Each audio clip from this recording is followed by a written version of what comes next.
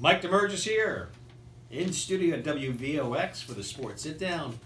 Uh, sitting beside me in the Sports Sit Down is Sean Dalgauer, MassCom student and graduate student Mike Phillips. And, uh, you know, talking off air, we had a little bit of a, a brouhaha going on. We're talking about the Mets and the uh, Yankees and talking about Severino and Sean and Jacob DeGrom and Noah Syndergaard and, uh, and Phillips. You're, you're of the opinion that that Severino can't shine in Syndergaard or DeGrom's shoes. Oh, absolutely not. I mean, I am sick and tired of Yankee fans who went back in May were telling me Severino is so much better than DeGrom. Did you guys watch him pitch the second half? He was horrendous. First of all, there, there's okay. Let, let me pick you apart bit by bit here. Go for it. Number one, Noah Syndergaard and Jacob Degrom will always live in the spotlight. They will never be if they ever even come in pinstripes. Then they will even think about being considered a great New York pitcher. They will never be considered a great New York pitcher if they don't pitch in pinstripes, in my opinion. Because why? The Yankees are by far the better team in New York. The only New York sports team that is actually relevant in any sport is the Yankees. Tell me right now, like what other team that you can constantly say year after year has been constantly performing in the postseason? You can't, other than the Yankees. No, First of all, the Yankees have more championships than all, Oh, all the other teams combined. All so- right. Well, think about it this way. We're talking about this before. You're saying we're talking about like you know their uh, you know AAA scenario. We're talking about you say Reyes and you know David Wright are your claims to fame. Hey, they're very good. David players, Wright man. played four innings on his last game because he couldn't even play the whole game. Oh, my! you said it Riddled by perfectly. They're pretty good players. They're not great players, and they were Oh, supposed to be great players. At least in the '80s with Darryl and Doc, they were great. They, And- Darryl and what happened? Wait a second. Wait, wait. With Darryl and Doc, though, were the be- probably the best players uh, at the time. You could say they were probably Oh, at the top oh, of no their doubt. game. There- yeah, you, no you question. can't say that about Reyes, right? I think the bigger issue with the New York Mets right now, who's going to be the general manager of the team, and is Mickey Callaway the guy to, to lead this team in the next couple of years? Yeah, for me, to be honest with you, this situation with the search is just completely mind-boggling. No one with any credibility wants this job because they are worried that Jeff Wilpons is going to sit over their shoulder and say, you know what, you can't do this, you can't do that, you can't spend money, you can't do what you want to do when you get here. That's why the Mike Chernoffs of the world, I've turned it down. Ben Cherington turned it down. Josh Byrnes turned it down. The list goes on. Nobody wants to work for this team. And the fact you're saddling these guys with the new manager, saying, oh, you have to take Callaway, that's a bad look. I mean, I think that's the new trend anyway through the MLB anyway. Think about it with the Yankees. You look down, you know, look in the Bronx. You know, Boone couldn't do anything without, you know, Cashman's approval with anything. But we're talking Yeah, about the, the, this is more the GM issue. You can't even get a GM in there because no one wants to work with ownership. They're talking about going back to Omar Minaya. To me, Omar Minaya had his chance, Yeah. and, and he didn't get it done. He, he brought him within a, within an inning of the World Series, but the team slowly eroded. Move after move after move he made did not work out, and a lot of the, the signings he made were, were over the hill pitchers too. Yeah, plus, I mean, if you think about it, these people who are looking for this job, you saw what Jeff Wilpon did the last day of the season. He went out, threw Sandy Alderson under the bus, and basically blamed him for everything that went wrong with this team. And this is a respected former Marine who got them a pennant and built them a good team. And he is a guy fighting cancer, and Jeff Wilpon is basically kicking him under the bus, saying, he's why we are struggling right now. That's a big problem. And, t- and what expected GM is going to say, you know what, I want to go work for those guys. I mean, if you're the New York Mets, again, going back to David Wright and Jose Reyes, what players have you really brought up? I mean, what great or good, even good position players have you brought up over the last 10 years? Yeah, that's what I was average, saying. average at best. That's Yeah. that's the best their, their farm system has brought up. Yeah, again, like there's not much there. I mean, Michael Conforto, you can say he's on his way there. No, he had a.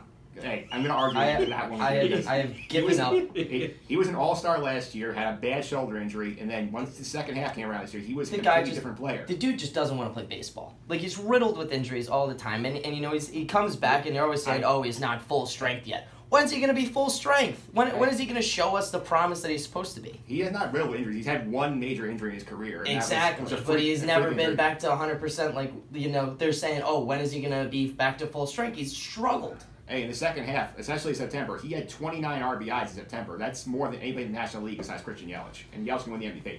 Yeah, well, No, you there- won't see him in October. There you got it. Moving to the Yankees, uh, what grade do you give Aaron Boone, first year manager?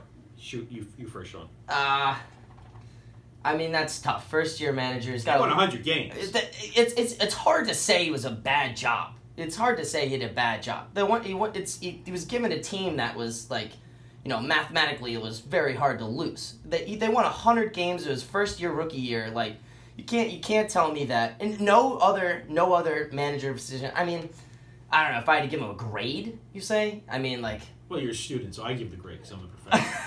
so I'll give my. All right, you give the grade. I give the grade. I give him a soft B.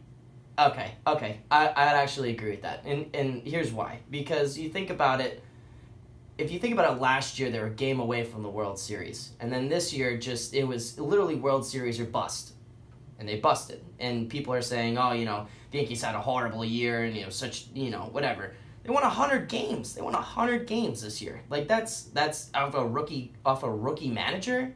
I mean, it's hard to hard to say he did a bad job. Before you get to you, Mike, uh, to me, the lack of discipline on the team, the lack of concentration at time, the the fact that that they're with, with Gary Sanchez did not, you know, evolve as a better catcher is concern, and just you know Oh, yeah. plays where it seemed like the little things they couldn't do.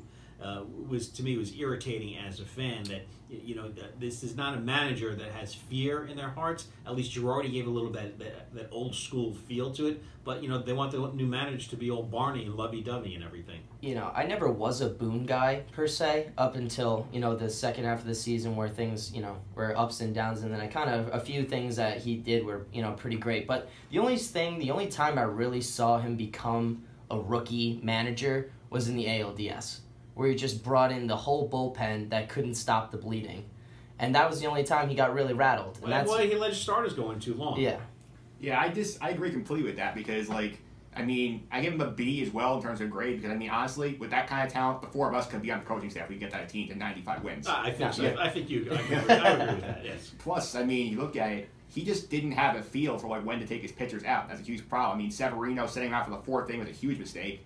I was texting one of my friends during Game Four when CC was out there. I'm like you got to get him out for the second inning because he was just not equipped for a third. The, he gave up extra runs. The bullpen came in too late, and then they put themselves in a hole they couldn't dig out of. Now, when, when you're down two games to one and your start is struggling, and, and certainly someone the age of CC Sabathia threw all these pitches this year, get him out. You, Yeah. You, there's nowhere to fall here. There's no net, and there's so much pressure on the hitters who are struggling already. They couldn't buy a base hit with a man on base. Horrible with runners in scoring position. Four for 26. He did not have a feel for his pitchers. you could see you could see even in the first ten pitches, you could tell if he has it or not. You know, and he was getting up in Well, the, he was struggling with Angel Hernandez. He was he wasn't giving him I- the, the, the yes. corners Who that doesn't? wanted. Yeah, yeah. Well, Porcello didn't have a problem. He shut down the Yankees pretty good. Yeah, but Angel is still one of the worst umpires I've ever seen in baseball. The fact he missed three or four calls on the bases on Game Three is just—it's No incredible. overturn. Pretty. That's pretty horrible. yeah, that's pretty horrible. brutal. And they were, and they were, you know, Not even close. right? They were, it wasn't, it wasn't even close. I mean, I don't know. I think, I think once you see within the first inning or so that he's either getting shelled or he's working high in the count, like get get somebody up in the bullpen. I I think the Yankees got a lot of holes. They have to figure out what they're going to do at first base, what they're going to do in left field, and you know what are they going to do for starting pitching here. Yeah. That- I mean, those are a lot of holes you got to fit. And and is Gary Sanchez the answer? And if not Gary, who's it going to be, Mike? I think you have to stick with Gary because if you look at catching around the league, That's a slogan. catching- Hey, you got to stick with Gary. Gary in 2019. Oh yeah. If you look around the league, catching in the league is horrendous. The Mets, you want to be, I would take him right now in the Mets. I mean, you've had with Plawecki and d'Arnaud for five years, and they're getting nowhere. Gary, at least when he's healthy, is a complete offensive threat. He can throw runners out. If you get him to work on his defense, he can be a top five catcher in the Well, the. Mets easy. haven't had a catcher since Paul Lo Duca, really, in 2007. Let's be honest. here. Yeah, that's definitely fair. That's definitely fair. before that it was Mike Piazza. So Yeah. uh, you know, where, you know, where, where do you go with catching here? It's, it's a big issue, Sean. I mean, definitely Gary Sanchez has just ripped my heart out game after game all summer long with just the opportunities that he's let, you know, runs come in when he can't catch a ball. It's brutal. And then, you know, he goes on and he, you know, he hits, you know, 180 or something like that or whatever. I think I forget. Yeah, something like that. It's just it's brutal. And I mean, there's there's many there's many holes, especially first base is my bigger concern first of all because I think Gary will progress quite Yeah. fine. Really Luke too Voit, he is not a first baseman. He, he is not nimble of foot. He is not soft of glove at first base.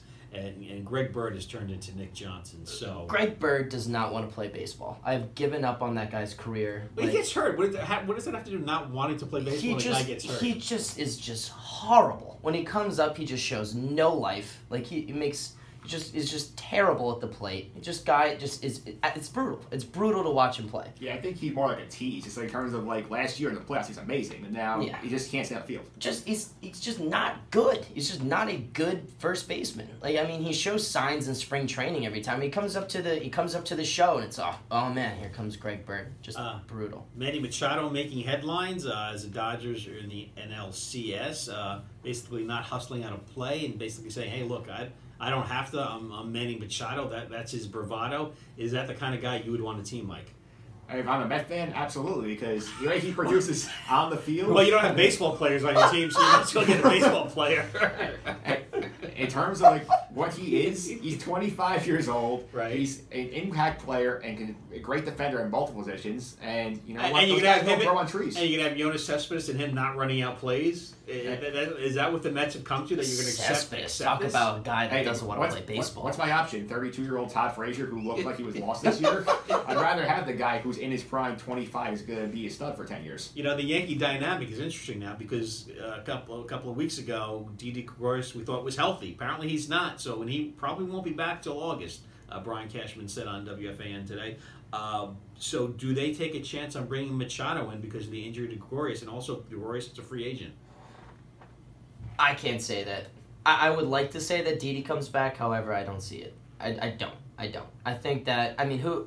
I mean, what, who are we going to keep? With put you know Gleyber back over there at That's, short. That's, that's what you have to do. You have to do that. However, then who's your second baseman? That causes that hole. I mean, Neil Walker. Like No, no, no, I've seen enough of Neil, Neil- Walker's. I've seen enough of Neil Walker between the Mets and the Yankees over the last couple Yeah, of years. I mean, it, it's just that- that's another problem. That's that side of the infield's a whole issue. I mean, I, I I'd like to see Didi back. I don't see Didi back.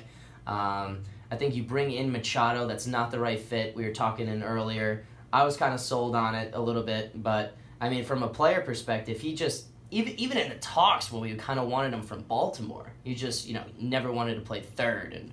And you know he was he, he was going to play the position he wanted. I don't know. I just don't think he's a good dyma- dynamic for the pinstripes. Well, but- since, since Miguel Andujar can't play third base, I, if they want to keep his bat in the lineup, I would put him at first base, teach him how to play first base, and trying to find a third baseman. I mean, I Well, guess. if they want to sign Machado, put him at third base, maybe. Yeah. Definitely a good idea, especially considering the fact that, like, Andujar is a great offensive player, but he's just a butcher in the field, man. I got, I would just drive me crazy watching him play. Yeah, I don't know if he's so. I wouldn't go that Well, far. the Yankees have three DHs on the team: Andujar, Sanchez, and Stanton. Right. They have three D and, and Voit for that matter. You've Right. got four guys that are really softball players. Let's be honest here. okay, they're DHs. So let's not mince words here.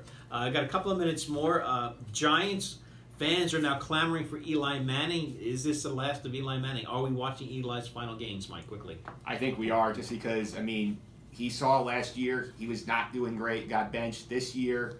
Not more of the same. You got you can't be a quarterback in this league who just wants to check down. You have to be willing to push it down the field. He doesn't. Uh, yes or no? Is he a Hall of Fame quarterback? Yes. Yes. Yes. What, you no think, question. You think he's no Hall of question. I don't know. I, I think the last couple of years here um, have really tainted his record because he has not elevated the team. Great quarterbacks elevate teams, and if you look over since this, you know, since the Super Bowl uh, when 2011, when they, when they beat the Patriots for the second time. Uh, they had another winning season after that, but since then it's you know they a couple of years ago they're 11 and five, but we've seen you know starting off 0 and 6, 1 and 5, you know, and, and what we are last year and this year, I think it's really hurt, hurt his chances here because he is not a great season quarterback. He is not what Peyton Manning was. He is not what Dan Marino was. He is not what Jim Kelly was. He is not what Brett Favre was. He's not what Aaron Rodgers is or what Tom Brady is. He is not a great season quarterback. Yeah, but at the same time, how many quarterbacks in two rings don't get in the Hall of Fame? I feel like everyone that was made in with at least two. Uh, Jim Plunkett? Did he get two? He's got two in 1980 and 1983. It's a tough call. That's a tough call, and you know, Yeah, I feel like he's been mentioned a lot of times as like a borderline guy. right? Exactly, exactly. So, I mean, off the top of my head, that's that's the only guy that I would think of that won two Super Bowls and not in the, not in the Hall of Fame. But- Yeah. So, so if that's the case, there is a precedent. Yeah, not a great president though. No, no, uh, Manning was a way better quarterback than what Jim Plunkett was. Yeah, but I mean, I think I think you have to keep in keep in mind Eli's, you know, career legacy at this point. You know, I think yes, his past couple of years haven't been great, but I think if you look at it as a whole, whole, you know, it, look his entire career, in the grand scheme of things, I think it's hard. If you had to do, if you had to do it again, would you take Barkley as a number one pick, or would you go quarterback? Uh, I don't know. I I'm a big Barkley guy, so it would be hard to hard to say no. I mean, but he, he's been amazing. I haven't seen really anything been- like him since yeah, Barry it, Sanders. it'd be really hard. It'd really be hard. what hard. about you, Mike? That was a first guess on my part. I would have absolutely taken the quarterback because without one the NFL, you don't win. Look what that Jets have been doing for 50 years. Now, thanks to the Giants, they have one finally. Mm-hmm. I, I mean, I think Josh Rosen would have been a good fit, but I, I think they didn't make a mistake. I, I think going with Barkley is going to pan out for him because he's such, he's as they say, a generational talent. And I haven't seen a running back like him, and he's kind of a mix of what Walter Payton, Earl Campbell was. Uh, simply incredible. That's the wrap on the Iona College Radio Hour. I'm Mike Damergis.